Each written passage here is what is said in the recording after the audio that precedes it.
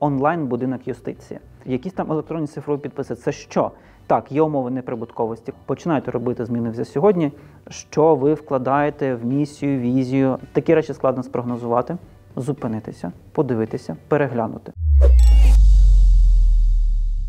Київський діалог продовжує е, запрошувати експертів і обговорювати з ними цікаві теми. Сьогодні нашим гостем є Артем Коновалов, експерт Центру демократії та верховенства права. Доброго дня! Вітаю! Будемо сьогодні говорити про е, громадські організації та їхню самозарадність. І почнемо з того, що якщо є якась ініціативна група, люди, які хочуть чинити добро, чи треба їм робити громадську організацію? Відповідь коротка і лаконічна, безумовно, так. Разом із тим, о, треба для себе відповісти не просто на питання, що я створюю чи не створюю громадську чи благодійну організацію, а рознести це на дві категорії. Е, Перша категорія це формальність процедури.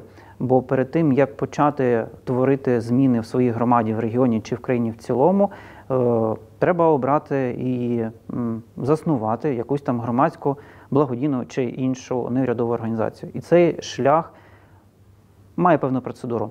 Треба зібрати документи, треба встановити коло осіб, які будуть засновниками, треба обрати керівника, керівницю, сформувати якісь органи управління. І інша річ, про яку треба говорити трохи окремо, це які цінності будуть цієї організації, що вона буде робити, яким чином. Якщо повернутися до пласту формальних речей, е, то ще 10 років тому е, цей пласт був тяжким, важким е, і тривалим.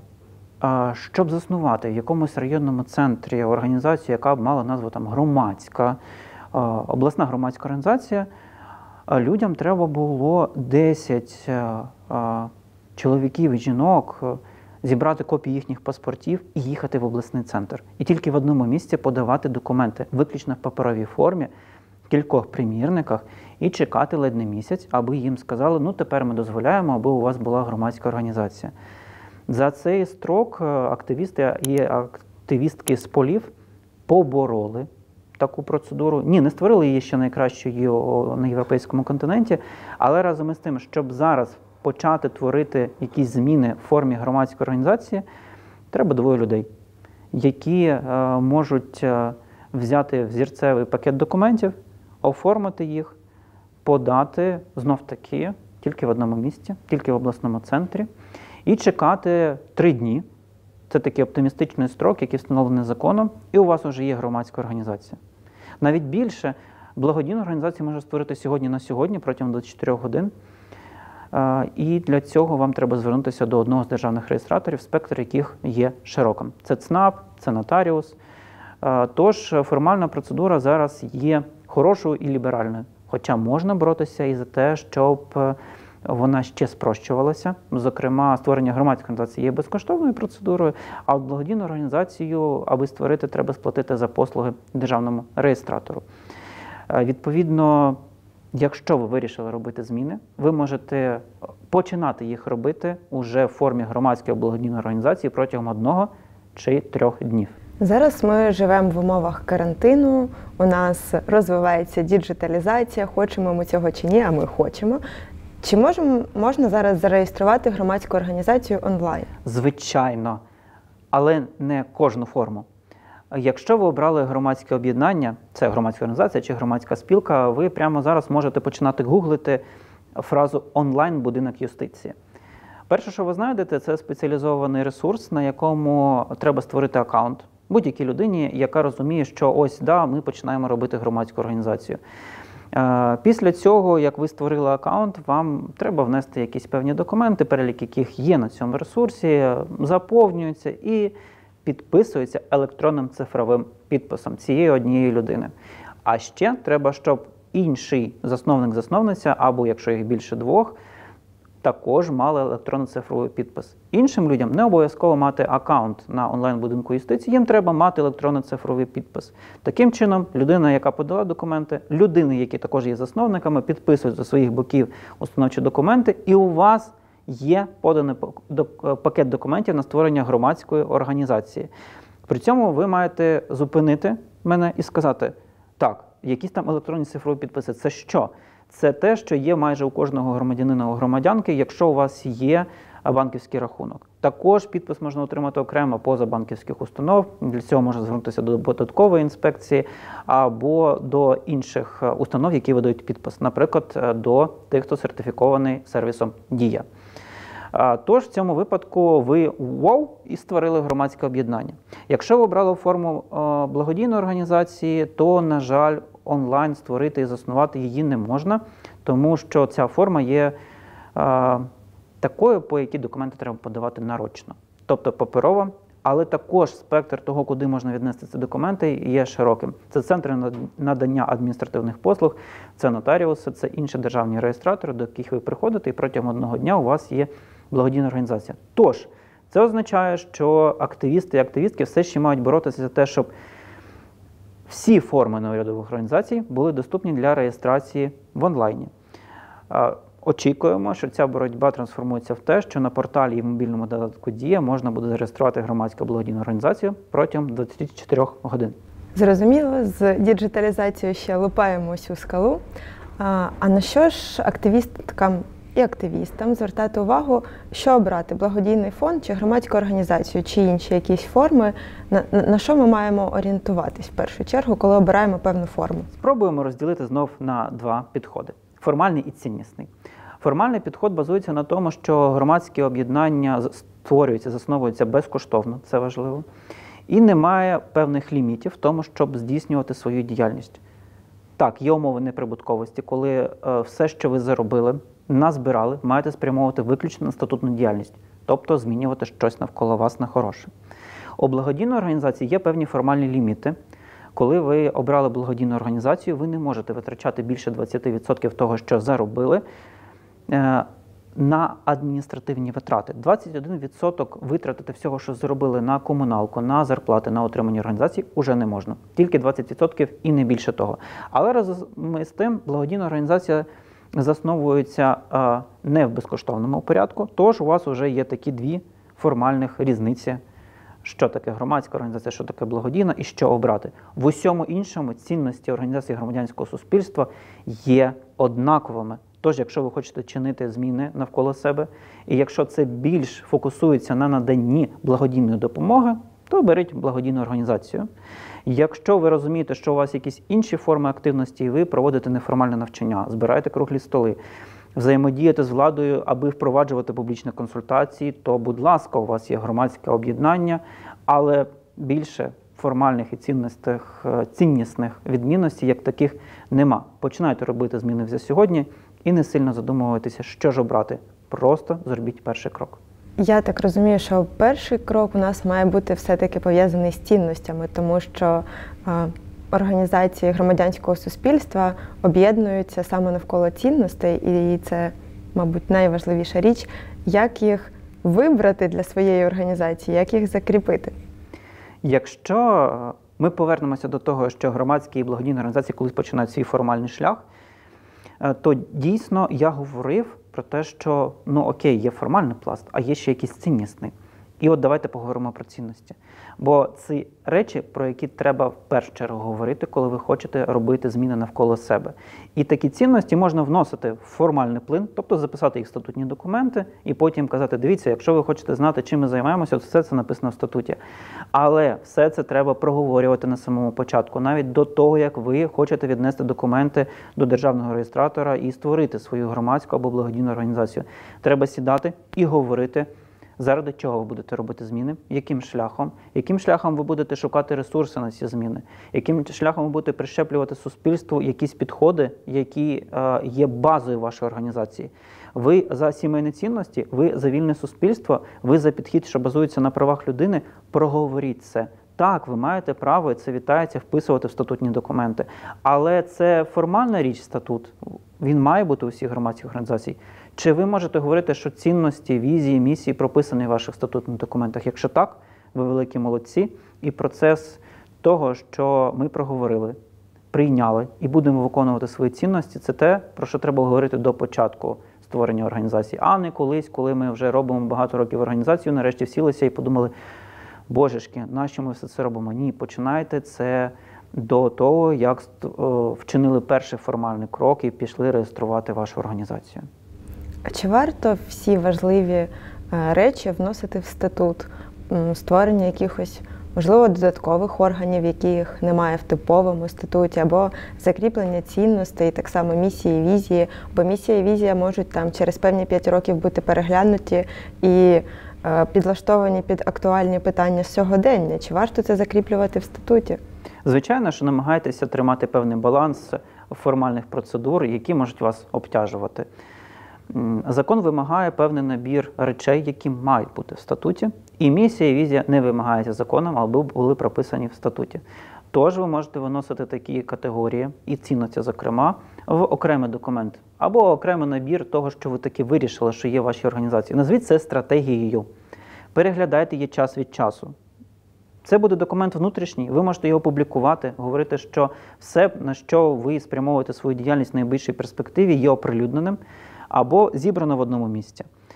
Але щоб зробити таку стратегію, вам знов-таки треба коли зібратися і зрозуміти, що ви вкладаєте в місію, візію, на який термін все це розраховано, яким чином ви все це будете досягати, і як ви це будете перевіряти. Чи ви взагалі дієте по своїй місії, чи ситуативно. О, є проект, давайте щось робити в рамках цього проекту. О, є конкурс проєктів, ми будемо робити все заради того конкурсу. Намагайтеся працювати в рамках того, що ви хочете досягти. Прописуйте це в окремому документі або тримайте в голові вашої команди. Якщо при цьому усі ці виклади є ще і оприлюдненими, то аудиторії навколо буде легко зрозуміти, що о, це та організація, яка найближчі 5 років буде чинити те, що вони там прописують. Я прийду до них і буду їм допомагати. Тож ваші стратегічні погляди можуть бути не тільки внутрішнім інструментом, а й зовнішнім, аби суспільство в цілому. І ті люди, які хочуть вам допомагати або отримати від вас допомогу, могли це бачити. Зокрема, бачити в тих цифрових інструментах, які ми згадували. Бо інтернет є усюди, і якщо ваша громадська організація в тому інтернеті показує, дивіться, от ми робимо щось, і це он там на нашому сайті, на нашій сторінці написано. Долучайтеся до нас, щоб отримувати послуги або допомагати змінювати нашу країну на краще. Якщо ми зібралися ініціативною групою, зрозуміли, що ми хочемо робити, заради кого, яка ідея і місія нас об'єднує, прописали цю стратегію, всі наші плани. А врешті, в результаті бачимо, що у організації громадянського суспільства все одно постійно випливають різні виклики, пов'язані з сталістю, стабільністю і, звісно, з фінансовим забезпеченням. Як же це відбувається, якщо всі пишуть стратегії? Так, ми ж розуміємо, що життя є е, настільки плинним і формує багато викликів, що стратегія, яка викладається на певну кількість років вперед, має якраз передбачати ризики. І якщо ви їх всі спрофілактували, то це неймовірний успіх. Разом із тим, хто два роки тому міг говорити, що країна буде в карантинних обмеженнях, які стосуються всіх сфер життя. Такі речі складно спрогнозувати. Тож виклики організації закладаються в стратегіях, але переглядаються оперативно.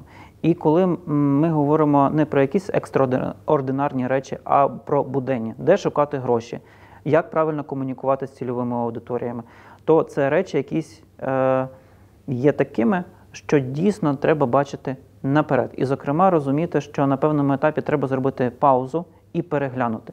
Якщо стратегія вашої організації по залученню коштів не працює, треба зробити паузу і подивитися, чому вона не працює, чому вам не донатять, чому робота вас зі спонсорами є не тою, якою б ви хотіли, чому збір коштів на скриньку не працює.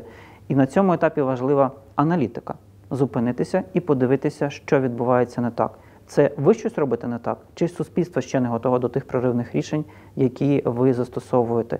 Тож порада зупинитися, подивитися, переглянути. Тому стратегія і може дійсно мати правильно була заувага перегляд. Сплановано на 5 років, але можемо зупинитися і переглянути. Може, щось не працює, може, якийсь критерій взагалі перестав бути вимірюваним. Не стидно зробити паузу і, можливо, навіть переглянути цю стратегію. Тож, не гребуйте стратегічними сесіями до початку організації, не гребуйте цим етапом і на а, тому моменті, коли ви розумієте, щось пішло не так, все сипеться.